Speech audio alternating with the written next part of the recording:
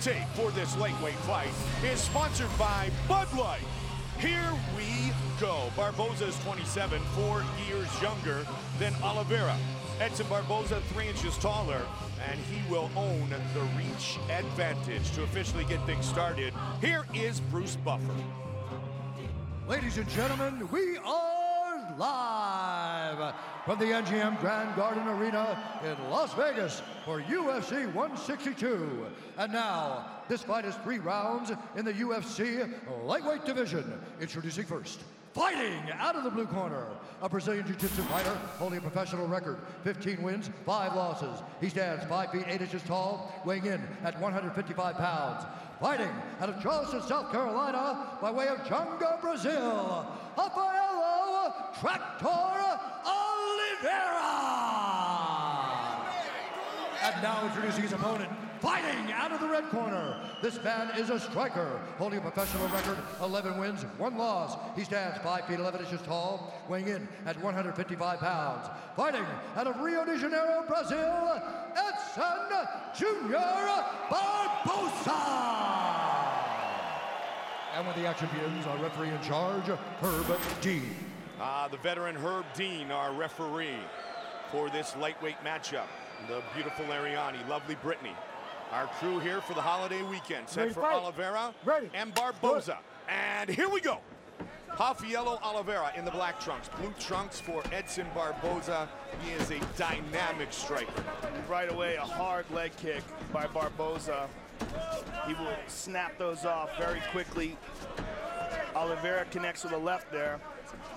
Barboza for this fight show spent some time training in New Jersey with Renzo Gracie, Ricardo Almeida, Mark Henry, Frankie Edgar's team basically.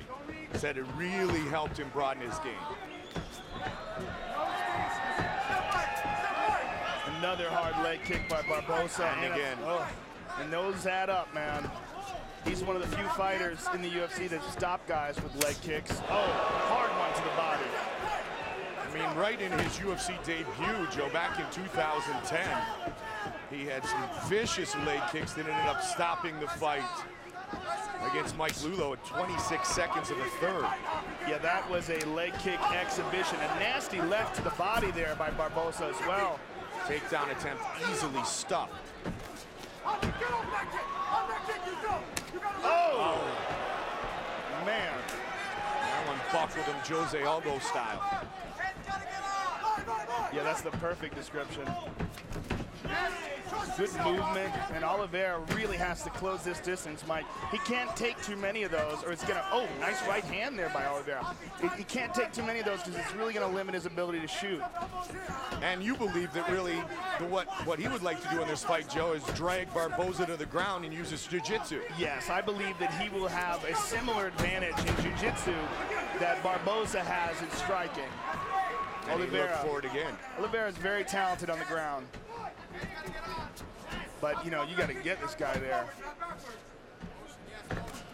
Using the height and reach advantage, pardon me, the height and reach advantage nicely is Barboza. And he's such a kicker, too. That's the thing about Barboza is the, the reach is even more so because he's on the outside with his legs. That's one thing we really need to figure out how to measure. We, we measure reach the same way boxing does. Yeah. I, I think that's nice spinning back kick to the body. I think that's a, a disservice to the kickers. You know, a lot of times, Joe, if you're worried about being on your back, you don't throw a ton of kicks. Obviously, Barboza is not concerned. His takedown defense is excellent. His sprawls are excellent, and he's got great footwork as well. And Oliveira lands a kick of his own. Oh, man, those are hard. You hear Mike Constantino yelling, get in the phone booth, and want him to Yeah. really close the distance, but that is so easily said and not very easily done. Just excellent footwork being displayed by Barboza here. Yes, he's not. He doesn't have that sort of like plodding, flat-footed Muay Thai style. He's always on the balls of his feet, constantly moving. And evolving as an athlete, he looks bigger and stronger tonight than we've seen in the past. Well, as does Hoffy. Uh, Oliveira looks bigger too. He looks uh, very fit. It's Nice a big switch. fight for both of these guys. Oh, man, And Oliveira, we, we can only see the bottom of his leg peeking out from under his trunks, but it's already swollen and red. 25 total strikes landed by Edson Barboza. That was close. Hoppy closed the distance there and got a hold of him, but man, another hard leg kick. Yeah, he's nearing 20 leg kicks landed. That's incredible. I mean, it's it's really hard for the folks at home to understand this because you're seeing Oliveira move around well and he still looks fine. He's in agony right now. He's just masking it by his movements. He's trying to slide away from them now, but every time he steps on that leg, I guarantee you he's feeling it. Joe, as you mentioned, Barboza was just one of five fighters in UFC history to finish a fight with kicks. He's in trouble right now, Mike. He's he's in, in big trouble. Yeah, that left again. leg started he started limping on that left leg. and again, He's trying to mask it. See, he's trying to like hop and make it a part of his movement, but he's limping right now. yeah. Interesting that he hasn't changed his stance to at least try to get that lead leg out of the way a bit. He landed a right hand there, but you're seeing him not able to push off that left leg anymore. And he eats another one. Man. Brilliant game plan and strategy by Barboza. He hit a left hook there, though.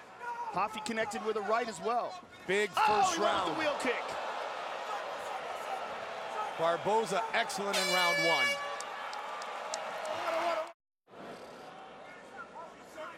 Take a look at this wheel kick that almost landed, just grazed over the head of Oliveira. And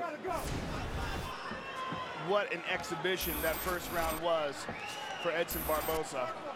Mike Constantino in the corner of Rafael Oliveira said, you've got to throw some combos. You've got to get inside and work in tight distance as he's He knocked down with right again. Edson, they just said continue to do the same, but when you Stand throw up. your kicks, don't drop your hands. Be careful. It's interesting what you pointed out that he has not switched his stance. He still has that left leg forward. And you can see how nasty. Oh, he's got him down. He's got Barboza down. Can he grab a hold of him? Wow. Excellent. right back up. Excellent defense there by Barboza. Great scramble. Coffee, let your boxing go. That's what I was talking about with the instructions in Constantino. back. Edson Barboza, I mean, more than anything, Joe, he's fun to watch. Yeah, he really is. He's one of the more dynamic kickboxers in the UFC. And he believes he will be a champion at 155. Look at kicks the knees look landed. at the swelling on that leg. Oh man. You could hear that one. That is one of the nastiest legs. I mean, you're only seeing like a little piece of it, but one of the nastiest visions of damage from leg kicks that I can remember in a long time. You're seeing horrible Yeah, that one, swelling. that one got him again. Look at the swelling on that thing. Urijah Faber, Jose Aldo. I mean, he's a one-legged fighter right now. I can't. Yeah, he can't do it much longer. That's it. That's, it. it. And it's all over. Edson Barboza finishes a fight via leg kicks once again. He might be the only guy we've ever seen to stop two fights by leg kicks. We're going to have to go to the stats to find that out. Well, he was one of five, Joe, Yeah. coming in, so I, I would imagine you're exactly right. He's, amazing. he is the first, First to do it twice. He's a monster, man. Yeah. That kid is a monster. Very, very impressive. First man to stop a fight twice due to leg kicks. Our move of the fight brought to you by Metro PCS. 4G for all. And when people say that I make too much of leg kicks, it's because I know there's people like Edson Barboza around. And when a guy when a guy can do that, I mean, that is one of the most difficult things to deal with as a fighter when one leg is just completely shot and you can't stop the guy from hammering that shin. Now, fans, don't forget that you can vote on what you believe will be the best move of the night. Tweet and let us know at hashtag Metro Move. And tune into the UFC post-fight show on Fuel TV for the winning move. The winner tonight in our first fight, Edson Barboza. UFC 162 prelims. live on FX from Las Vegas, are sponsored by Bud Light. Here we go. With the official decision of our lightweight matchup, here is Bruce Buffer. Ladies and gentlemen, referee Herb Dean's called a stop to this contest at 1 minute, 44 seconds of round number two, declaring the winner by TKO Edson Jr. Barboza. UFC history for Edson Barboza. Here is Joe. I am here with the winner, Edson Barboza. Edson, that was a spectacular display of leg kicks. And in fact, you became the first fighter in the history of the UFC to stop two men with leg kicks. Really, uh, an amazing display. How do you feel about your performance? I feel great. I know uh, I think my hands will not be good today, but I keep training a lot, you know, punching, kicks, everything. I take it all defense. Uh, I feel great, thank God. God bless me one more time, one more victory. Take a look up at the big screen at some of these nasty leg kicks that you landed. I mean, one of the best displays of leg kicks we've seen inside the octagon. Oh, Before the end of the first round, you had hit him with over 28 hard leg kicks. Yes, man, that's my game. I, my first fight in UFC, it's the same thing. I knocked the guy out in third round with the leg kicks. In this fight, one more time. Incredible display. Can't wait to see you again. Congratulations, sir. Edson Barboza, ladies and gentlemen. That's a huge win for a very humble Edson Barboza. And he talked about his takedown defense, too. Outstanding as he stopped the takedown attempts of Hafiello